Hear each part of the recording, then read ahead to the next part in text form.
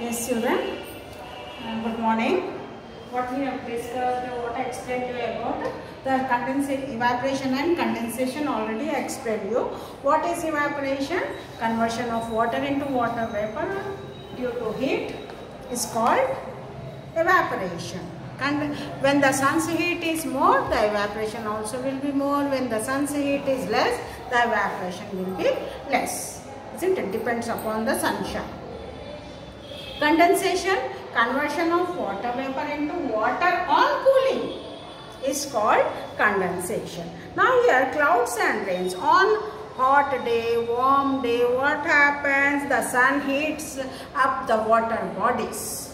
Rivers, lakes, ponds, seas, oceans and the water evaporation takes place from the water bodies, isn't it? This process is what you call it? Evaporation water converts into water vapor due to sun's heat is called evaporation. This water vapor rises up in the atmosphere, rises up in the atmosphere. Now as we move above the earth, you feel cool air.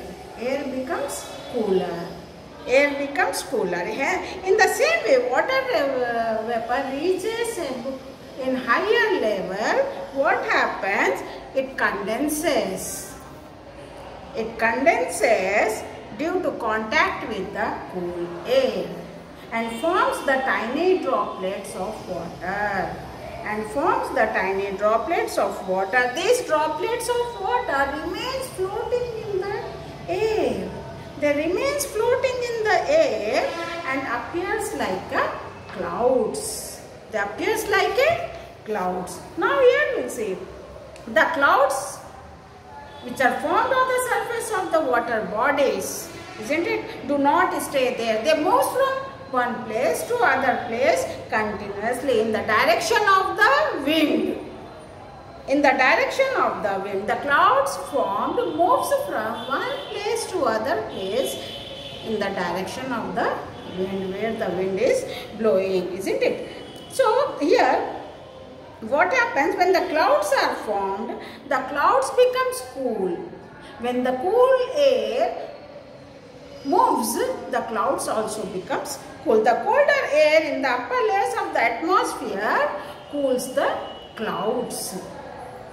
Cools the clouds. Now here we know that without clouds there will be no rains. If the clouds are not there there will be no rain there is no possibility of getting rains isn't it? This is very clear. So here some changes takes place in the clouds before they gives rains before they cause rain. Some changes takes place isn't it? Some changes takes place. The clouds moving in air are generally at higher level they are generally at higher level. Sometimes what happens, the cold breeze coming uh, along with the air makes the clouds also becomes cooler.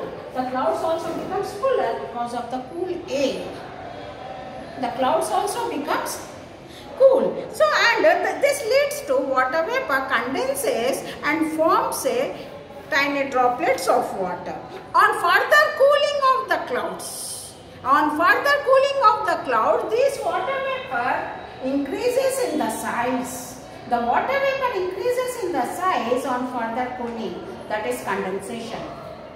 That is condensation. Further, so size of the water vapor becomes bigger in size. So, and what happens that now you will observe also before you get the rain, the clouds also, the color will be changes from white to grey color. Sometimes you will feel the grey, dark clouds are formed before you get the rains. Now on further condensation, on further cooling of the clouds, what happens? The size of the water vapor will be increases. And at that time what happens? The clouds will not able to, difficult to hold the water vapor. Bigger water vapor, the size of the water vapor will be increases in size. Droplets of water becomes bigger in size.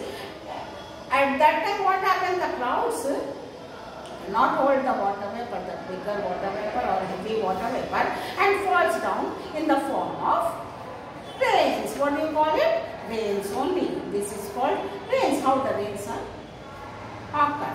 Understood? Now in the same way, now here you will see that in our daily life we observe, we observe that raining clouds descends towards the earth's surface and you experience the cool breeze. What is breeze?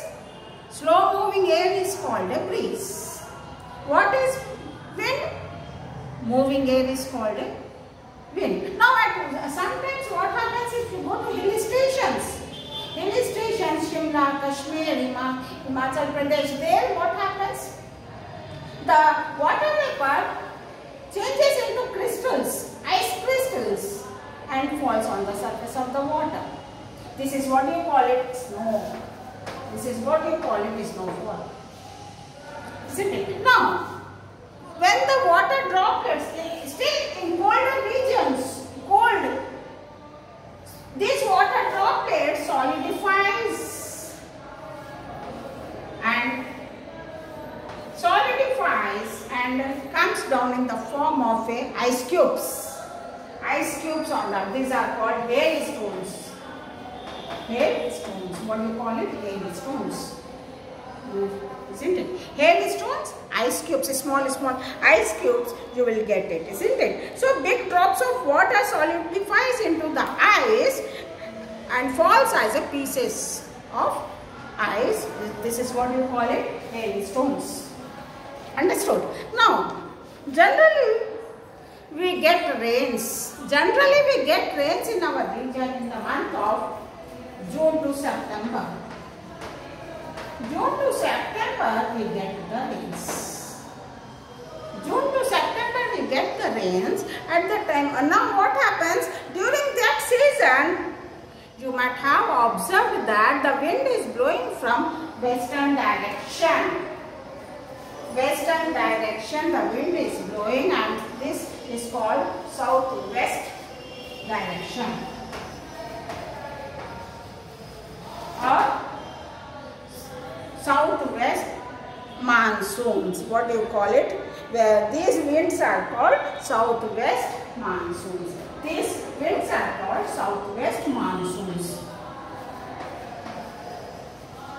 In the same way, in the month of December, November and December,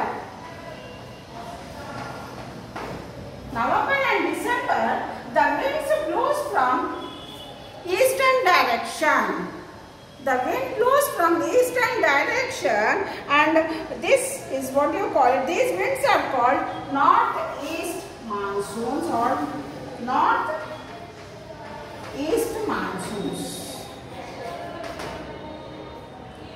Isn't it? What do you call it? Northeast monsoon. Now, nowadays we are not getting timely rains. We are not getting timely rains. It? We'll discuss in the next class. Thank you.